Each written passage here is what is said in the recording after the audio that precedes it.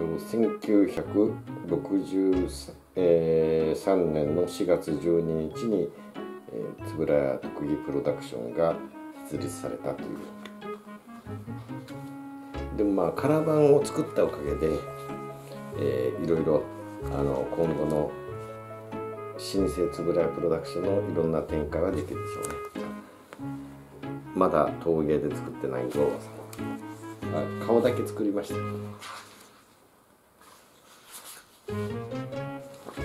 なげなめごんさんもいいですね。かわい。い目がプラナリアみたいで。レギラーさんも好きです。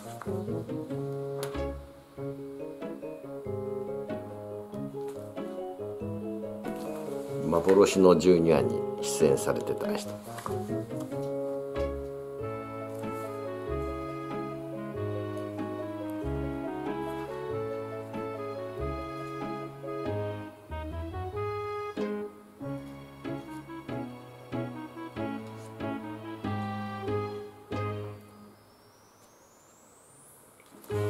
金城哲夫さんがゲスト会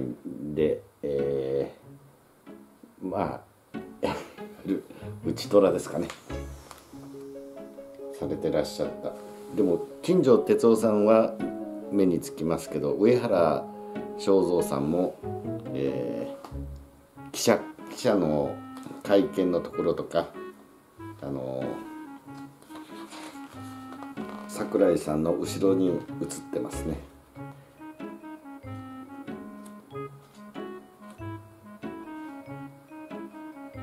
ラルゲリウスラルゲリウスラルギウスなんですね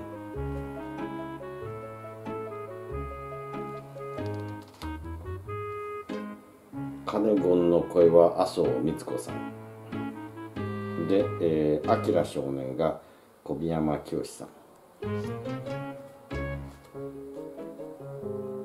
ところで私ずっと育てよ亀の後ろ後ろの席か前の席忘れたけど村岡淳二さんが映ってたので、えー、クレジットされてると思ったらクレジットはされてなかったんですね。木名道夫さんはあの、えー、怪談小林正樹さん監督の怪談に出演されてますね。まあ、レモンのような女とか皆さんご存知ですけどあと人間標本56のダダの中でこういう形になっている研究所員ですね。2020年は過ぎました。えっ、ー、と石間さんという方が「えー、今に見ておれの」えー、最終回に出演されてるんですけれども、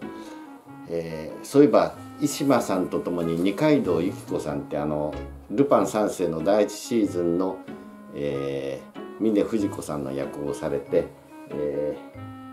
ー、柳生博さんの奥さんになられた方なんですけどもその方のウィキペディアには二階堂由紀子さんの「今に見ておれ」出演者リストがないので本当にウィキは困ったもんですね。い、ろいろ。えー、っとプリスモルファー私は実際に撮ってきました。撮ってて撮影してきました。という風でカラー版ですね。坂部典子さんは、えー、銀山温泉をが最後の舞台になったあの乱れる成瀬監督の、えー、草笛光子さんのお子さんということで、えー、抱っこされてましたね。あ白川さんの方の娘さんだっけ？ちょっと今とっさにはど忘れしちゃって思い出せないんですがとりあえず「乱れる」に出演されてました。